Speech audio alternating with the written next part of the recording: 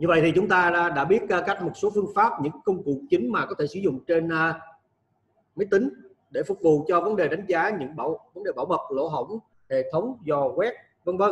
Nhưng mà trên điện thoại ví dụ smartphone chúng ta cũng có thể cài đặt những công cụ trên. Đương nhiên là tôi chưa thử nghiệm hết được tất cả những công điện thoại nhưng uh, một số dòng máy tôi cài thử và thấy nó chạy khá là suôn sẻ.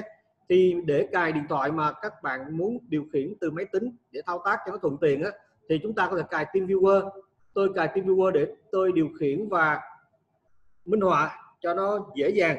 Sau khi tôi cài TeamViewer Support trên cái điện thoại rồi, thì ờ, tôi sẽ bật nó lên. Nó là cái Quick Support.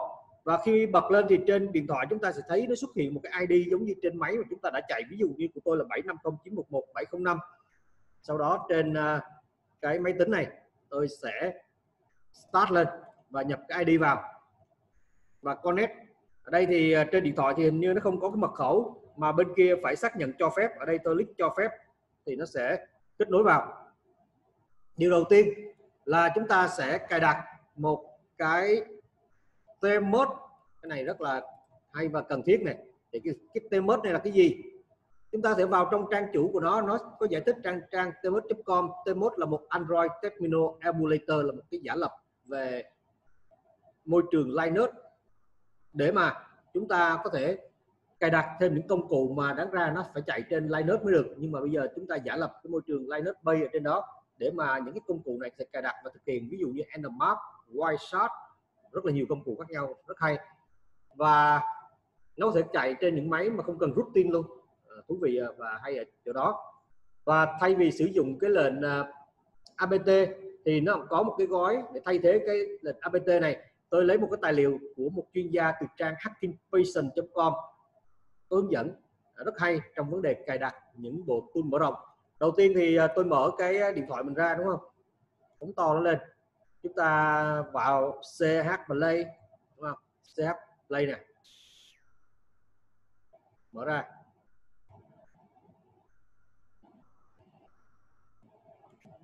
Ở đây chúng ta gõ vào tmod đây. Sau đó nhấn cài đặt.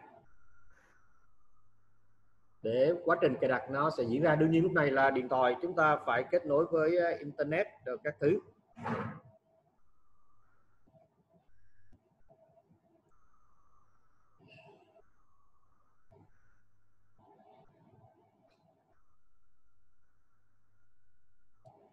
Sau khi nó cài đặt xong Steamers thì nó sẽ xuất hiện một cái icon màu đen trên màn hình điện thoại của mình đó chúng ta sẽ thấy nó có màu đen đen. Và chúng ta sẽ mở nó ra để chạy lên. Dù đây ờ, chúng ta thấy là nó báo là cài xong này, tức là nó cài xong trên cái điện thoại của tôi rồi. Tôi click mở ra.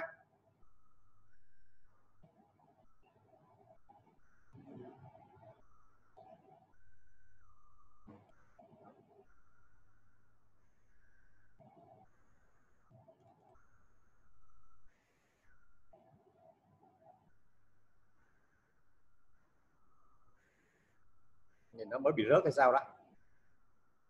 Chắc là cài nặng quá cái nó rất, rất kết nối.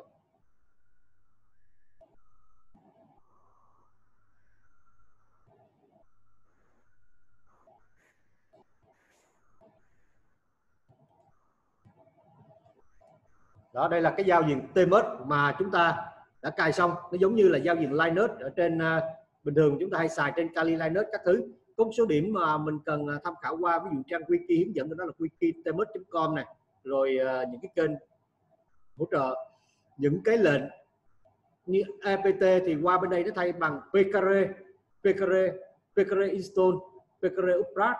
Bên kia là apt bên đây là pkre pkre giống như là một cái word, nó gọi là wrapper của lệnh apt giống như khi chúng ta chạy thì nó sẽ gọi tới cái lệnh, tương tự như lệnh apt đó, nhưng mà nó hỗ trợ cho những môi trường mà không rút ở đây chúng ta chạy apt cũng được, nhưng mà chạy lệnh apt trên những cái máy điện thoại bị rút rồi đó, là nhiều khi nó không chạy được. Những lệnh apt chúng ta thấy là apt install, thì bên đây nó sẽ là PKR install PKR x11 repo gì đó, vân vân.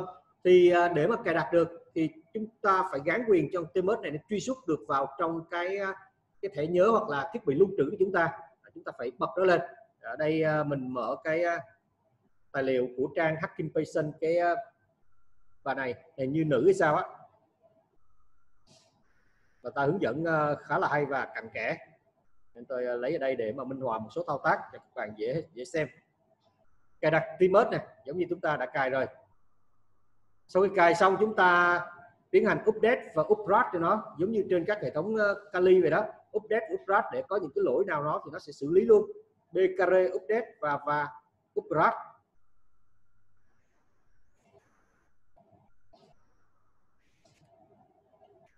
Ta gõ đây. Pkr update. Và và. Bkr upgrade. Tức là nâng cấp lên.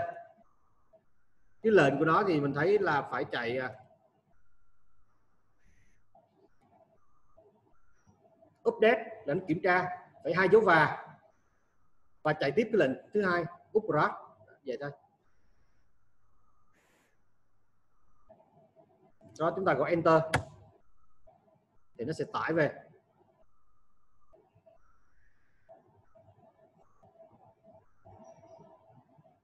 Do you want to continue gì đó? Nó nói sẽ chiếm một số dung lượng của hệ thống.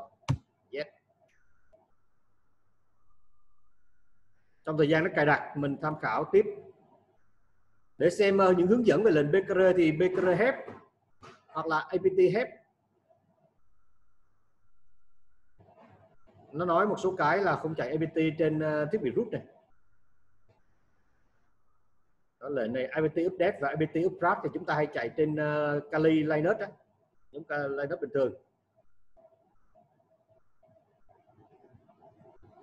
Để mà xem cái man bay của một số lệnh thì chúng ta phải cài thêm pkre install man pkre install man là để liệt kê tất cả những cái gói thì chúng ta dùng lệnh là pkre list on trang này nó hướng dẫn ờ, khá là hay và chi tiết.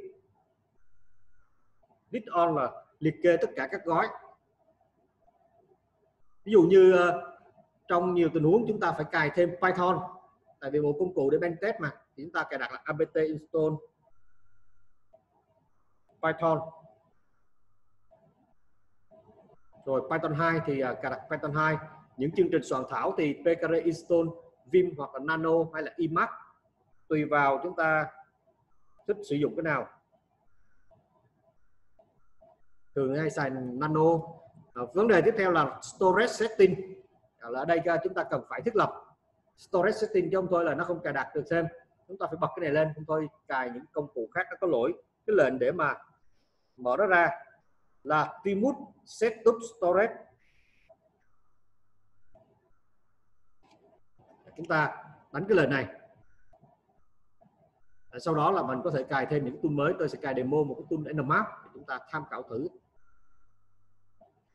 Nếu như trên điện thoại các chị chưa test được thì cài giả lập để mà thử nghiệm. Giả lập thì đăng ký tài khoản và lấy cái Remotion á, để lát nữa tôi cài thử đó. Có được không?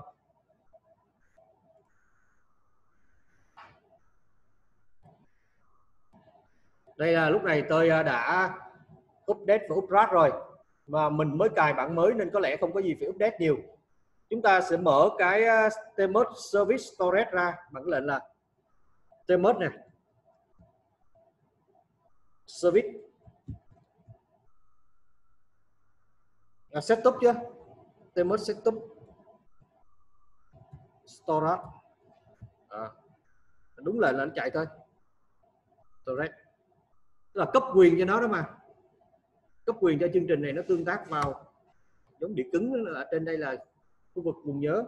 Thì chúng ta sẽ thấy nó báo này cho phép TMS truy cập ảnh phương tiện và tệp trên thiết bị của bạn. Thì chúng ta phải cho phép đó. ok. Ví dụ bây giờ cài nmap thì uh, chúng ta cài thế nào? Ví dụ đây là pkr đôi khi nó thiếu cái gì đó thì nó bắt phải cài thêm install nmap enter xem nó báo có muốn tiếp tục nữa hay không nó sẽ chiếm uh, khoảng 26 mê trên bộ nhớ. Yeah. enter. Tức là sau khi mà có nmap này thì đương nhiên mình có thể chạy trên điện thoại để mà dò quét những cái máy miễn là IP nó thấy nhau là ok thôi. Ở trên mạng hoặc là ngoài internet đều được cả. Chúng ta thấy nó đã cài xong rồi kìa. Mình uh, có thể kiểm tra bằng cái lệnh nmap nó ra cái thông số màn hình. Để lấy thử một cái à, mục tiêu nào đó, dò quét thử. Chúng ta vào trong Nmap, trang Nmap nó có. Search Nmap xem. Nó có trang admi hay trang gì đó.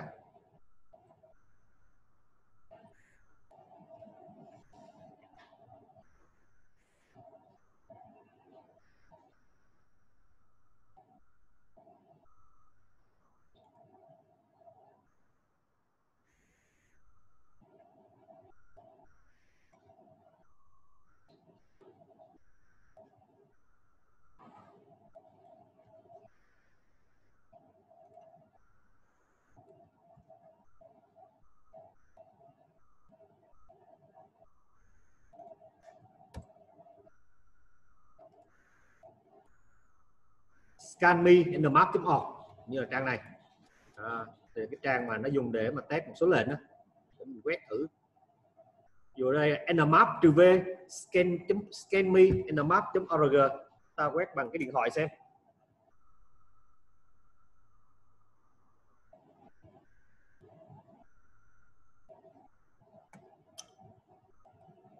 Mở giao diện điện thoại ra. Trên đây mình đánh lệnh à, xóa của nó là CLS không phải clear. Đó, giống như trên à, uh, Linux chúng ta hay chạy. Nmap trừ v. Scan me nmap org enter. Nó đang do quét. À, các bọt mở ví dụ chúng ta thấy bọt 80 bọt 22 bọt 9929 và đương nhiên là mình có thể sử dụng những cái tùy chọn khác giống như là nmap trên máy tính thôi cài với tool này dễ cài à, thêm à, mới tập loi đồ mới rắc rối và phức tạp. Đó là tôi chạy trực tiếp trên điện thoại của tôi tôi cài nó rất là dễ dàng. Bây giờ mà các bạn muốn thử nghiệm thì cài thử giả lập trên máy tính. Còn không là kết nối vào điện thoại của mình cài luôn, không sao cả, tôi cài luôn, cài tới, tôi gỡ ra, gỡ vô cái chục lần, không ảnh hưởng gì cả. Điện thoại tôi đang xài Samsung Note 5 chạy ngon lành. Sau này tôi định à, cài trên một loạt các thiết bị của smartphone của VMAX Pro 3 rồi xong mình bán lại? Chịu đặt tên uh, chiếc điện thoại nguy hiểm nhất. Giờ mấy đứa con nhà nó thấy cái hình điện thoại tôi là nó cứ đọc. Nó nghe ba nó nói nó nghe quen quen đây là mấy cái điện thoại tôi sắm rồi tôi cài này. Hai cái này là cái VMAX Pro 3 cái này là Xiaomi. Còn này là để mà dạy cái lớp mà mobile ờ, mà mà mà bentec mobile. Đối với Android thì giả lập rồi thoải mái. Còn iOS không có đường nào giả lập hết đó chỉ có máy thật mà chơi vô thôi. Còn Android thì cứ dùng Remotion rồi các thiết bị khác để mà giả lập rất là dễ dàng. Còn iOS nó giả lập có thể được cài một cái máy ảo uh, trên uh, máy mắt trên máy ảo sau đó cài Xcode lên. Nhưng mà chạy app chạy đồ cài tool là nó không, không được. Trước đây khi mình nghiên cứu lĩnh vực đó thì uh, tác giả mới đầu nó cài giả lập. Đến khi thực hành nó là chơi trên máy thật mà nó không nói. Mất cách mấy ngày vụ đó hai ba người luôn á. Thế ra là khi nó giới thiệu nó cài giả lập uh, trên một máy ảo của Android à, iOS. Nhưng đến khi demo nó chơi vô cái iPad. Đọc chập mới thấy nó có lộ ra cái dấu nhảy. mấy tác giả nước ngoài nhiều thằng nó làm tàu lao làm rất là tứ lông có thể giấu nghề hay là như thế nào đó. Hoặc là nó cũng có giải thích nhưng mà mình đọc không kỹ. Trong cuốn sách của nó mình đọc không kỹ. Mà chắc là mình đọc không kỹ. Bây giờ tôi thử cài trên à, cái nền tảng à, giả lập. Thử xem được không nhé hồi nãy tôi cài trên điện thoại rồi. Những thao tác khác cài đặt thì mình ờ, sẽ hướng dẫn thêm. Nhưng mà các chị lưu lại cái trang này tôi uh, tham khảo từ đó thôi. Trang của bà này này. Bà có cái tool gì mà dịch ra là mắc bò là do bà biết. Cái nickname của bà cũng là, là nick đó luôn.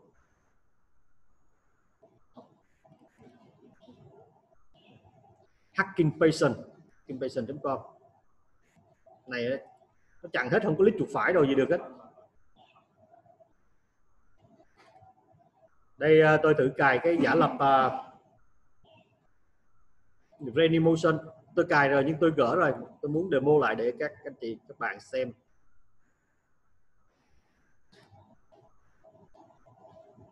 Chúng ta à, lên phân biệt nha. Lúc nãy là mình đã cài trên máy thật rồi nha.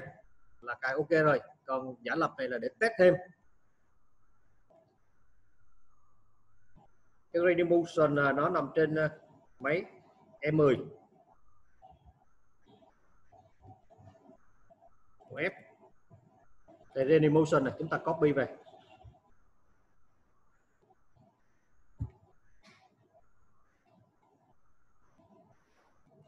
Rồi đặt trong thư mục tool đi, cho nó dễ. Ở đây nếu như cài từ đầu thì nó có sẵn à, chúng ta có thể lấy nguyên cái gói nó có VirtualBox nó cài VirtualBox của chúng ta luôn. Nhưng mà khi cài xong sợ nó bị đụng chạm với mấy cái ờ, máy ảo mà chúng ta đã tạo đó. Tôi lấy các bạn không có VirtualBox xem sao. Double click vô đây. Đương nhiên là cũng có thể sự, có sự không tương thích hay trục trặc gì đó, thì mình xử lý thôi. Còn nếu không có thì càng tốt.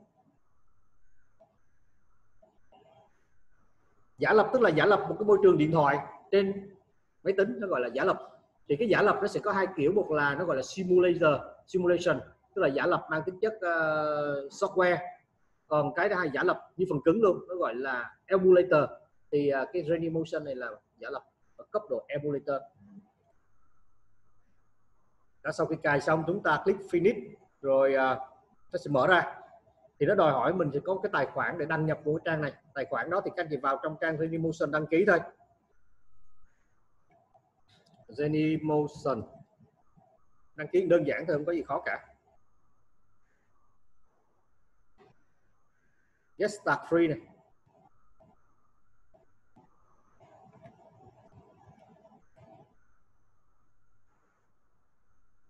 Cái này không phải rồi. Có cái nút là sign username, create account này. Đó. tạo tài khoản username ờ, email password thì à, chúng ta đặt mật khẩu gì đó. Rồi uh, select type kiểu gì đây? Test đi. Company ờ, để, để lại ngân hàng luôn được. Company name. Country Việt Nam chấp nhận mấy điều luật về license của nó bản quyền gì đó create account nó sẽ gửi cái mail về. Tôi tạo cái tài khoản này, mình cứ tạo nhiều quá, phải ghi lại tôi quên mất. Tôi đặt tên hết set và check mail xem nó có gửi về chưa. Đây là nó gửi về rồi nè. Nó kêu à, mình sẽ click để mà activate. Click vào đây. Active giờ xong thôi sau khi mở này ra, lúc này thì cái tài khoản của tôi là, nó nhớ cái tài khoản cũ tôi đã đăng nhập rồi. Còn khi các anh chị mở cái Ready Motion này lần đầu á, nó sẽ hỏi cái account, thì chúng ta sẽ lấy cái account, ví dụ như của tôi hồi nãy tôi đăng ký là reset rồi bắt buộc nhập vào, nó sẽ đăng nhập vào. Sau đó mình mở cái điện thoại ra. Ví dụ như hồi sáng tôi đã tạo một cái điện thoại, Google Nexus 7 và nó tạo rất là nhanh chóng và dễ dàng sau đó tôi click ở đây, có nút start và tôi mở nó lên. Start lên, chúng ta xem thử xem sao. Tuy nhiên ờ, có một số cái ờ, cấu trúc phần cứng máy tính nó ờ, hơi khó chịu, nó không cho cài, hoặc vì lý do nào đó, nhưng mà đa số là cài được. Nhưng cũng có khi nó không cho cài là cũng khó chịu lắm nha. Trước đây có một lớp ở Hà Nội do chuyên gia Ấn Độ dạy, ông ta test không kỹ hoặc là bên đây test không kỹ, thì nguyên cái ngày đầu bật lên không cài được cái Remotion này phải nghỉ luôn. Phải thuê nguyên cái dàn lab mới đổi đổi máy, mất hết một ngày á. Còn sau này mình kinh nghiệm rồi, mình cài là mình kêu ở ngoài đó bật team viewer vô để tôi cài thử thì chạy được không đã. Thì đa số sau này các máy tính, sách tay, laptop đều cài ok. Thì lúc này nó đang load cái giao diện của cái điện thoại trên cái máy giả lập này. Máy này thì tôi đương nhiên là cài được rồi, tôi mang đi tôi dạy chinh chiến biết bao nhiêu à, khóa học về mobile rồi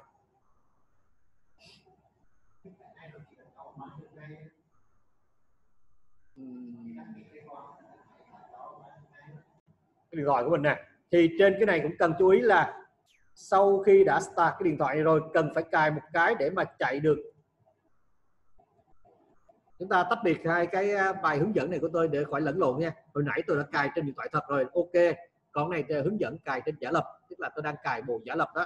Sau khi cài xong, Jenny Motion và tạo Mobi. Ta cài cái này chắc gọi là CH Play á. Bởi vì mình đâu có thấy cái nút nào ở trên đây đâu. Không thấy cái nút uh, bật này ra. Chưa có CH Play ở trên đây.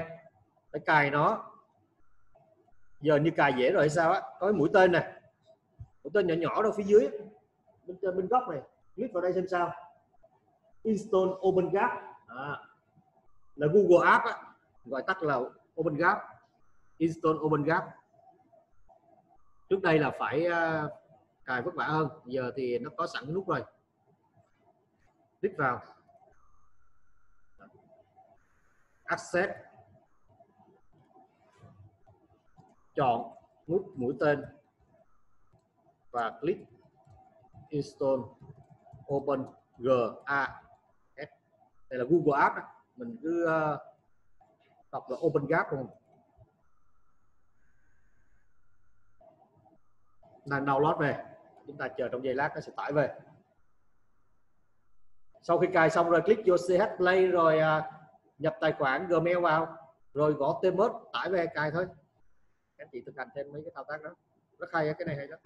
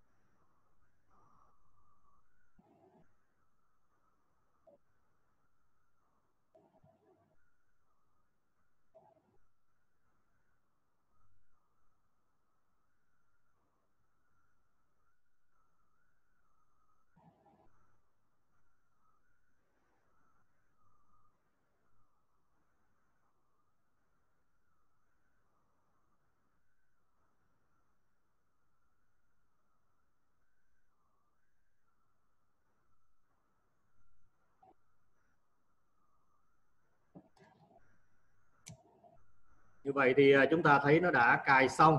À, nó kêu mình restart lại cái điện thoại. Restart now. Restart đây tức là nó nhưng nó không chạy tự động. Nó tắt thôi. Mình phải vào đây chứ ngồi chờ nó. Mình tưởng là nó tự động chạy để xem thử nó có chạy không.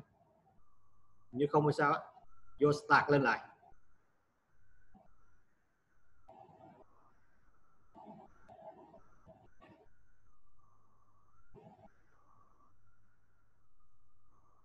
Sau này khi các anh chị thử nghiệm những vấn đề gì về trên mobile cứ mở mấy giả lập này ra. Cài tool rồi test ờ, app rồi các thứ rất thuận tiện. Có mấy cái chương trình giả lập nó giả lập được cả review tức là nó định vị được luôn, không biết nó lấy kiểu gì nữa. Ở đây cái điện thoại nè. Lúc này chúng ta xem có cái open Google App chưa? Click vào đây. Đây cái Play Store này đúng không? Ta click vào Play Store. Để vấn đề là các anh chị nhập cái tài khoản Gmail vào. Nếu đã có thì existing rồi bắt buộc mình. Khó nhớ đây. Tài khoản nhiều quá rất khó nhớ. Đó à, ví dụ như tôi à, nhập đúng cái tài khoản của mình vào. Có nhiều khi quay video demo nhập bắt buộc xong rồi quên đổi xe mạng. Lâu thấy có mấy bạn lốc lốc vào nhưng mà thường thường mình đặt hai lớp cho bảo đảm, chẳng hạn như vậy. Đây, chúng ta search lại chữ temus nha.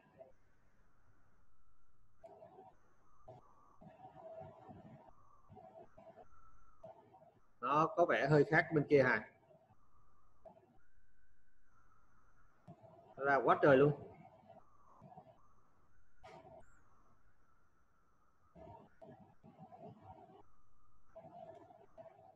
Hồi nãy chúng ta search trên điện thoại ra cái chữ tmos nó dễ tìm hơn để nó ra quá nhiều.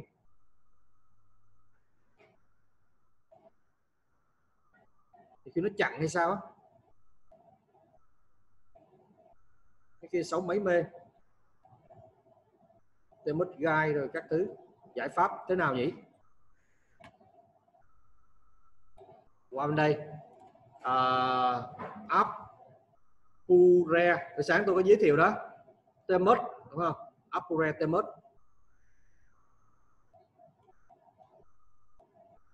tôi nhớ là còn một trang nữa. Trang kia nó tải về gói APK còn thằng này nó gọi, tải về gói xapk trên ờ, cái gói xapk này khó chịu lắm. Xapk để phải cài cái chương trình xapk của nó và để nó quảng cáo đó mà. Để coi download. APK có một cái sai khác. Tôi nhớ có một sai Evozy này thử được không? APK Mirror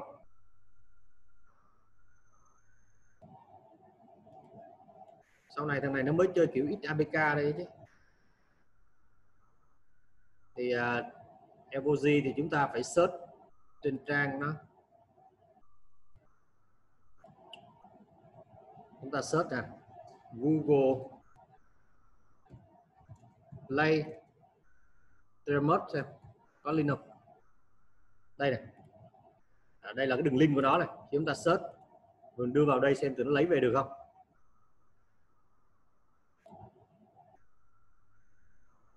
Đó mình phải linh động trong một số vấn đề xử lý. Nhiều khi nó tìm không ra.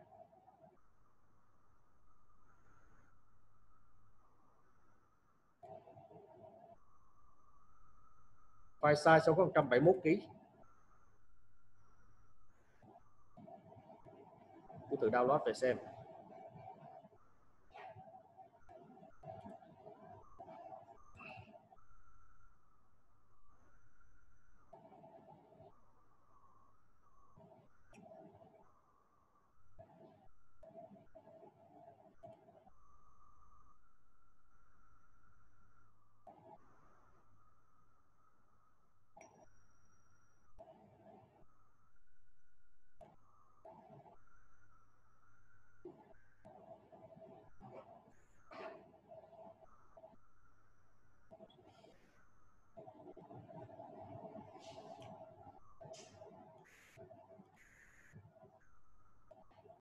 Khi tôi uh, cài nó tôi rát cái uh, cái com này lên nó báo lỗi này.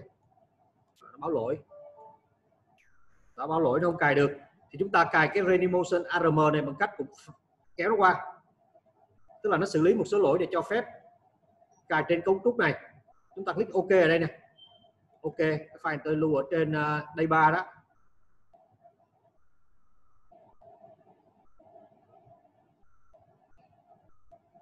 Successful restart lại. Restart lại cái hệ thống này. Cho mấy món mobile này nó nhiều khê lắm á. Stop. Start. Lúc này á, là nó sẽ cài được.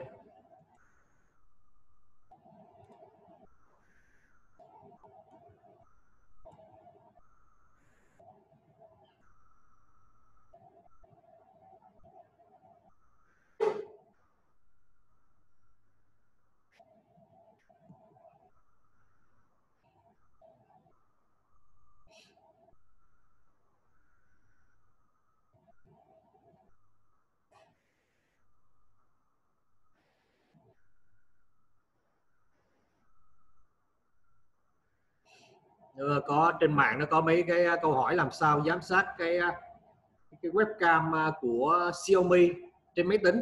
Nhưng nó không có trước không có, mà chỉ giám sát được trên điện thoại thôi. Thì nhiều đứa nó nói hướng dẫn cài cái giả lập này lên trên này, sau đó cài app của Xiaomi trên máy tính. Mỗi lần giám sát phải bật cái ứng dụng mobile lên. Tuy nhiên trong trường hợp mà giám sát như vậy thì nó dùng cái app cho nó đơn giản hơn. Ví dụ như Droid for X hoặc là những cái app simulator thôi còn à, mấy cái app dạng dạng này thì để mà test những cái mang tính chất uh, phức tạp hơn đòi hỏi cấu trúc nó nó giống điện thoại hơn để thử nghiệm. Đây uh, sau khi tôi cài cái Remotion ARM Translation trên cái điện thoại giả lập này tôi lại quăng cái gói lên xem sao. Cái bóng báo à.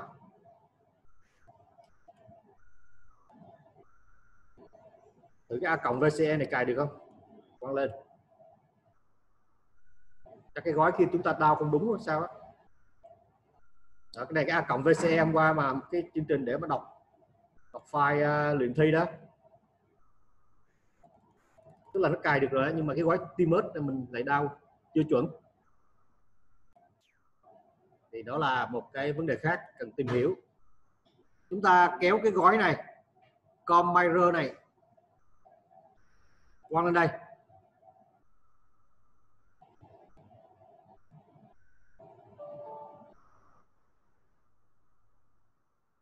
Nó không không hiểu rồi. Không đúng cây cấu trúc của nó. Tôi nhớ tôi có cài được một lần rồi bây giờ không cài được. Nó có nhiều biến thể quá.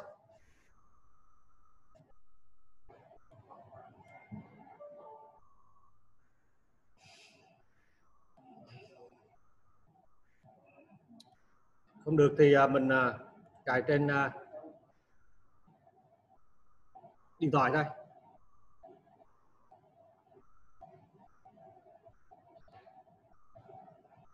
Lát nữa tôi sẽ minh họa thêm cái cài Metaploy trên cái thiết bị này. Giờ tôi top xe để mà lưu lại cái video.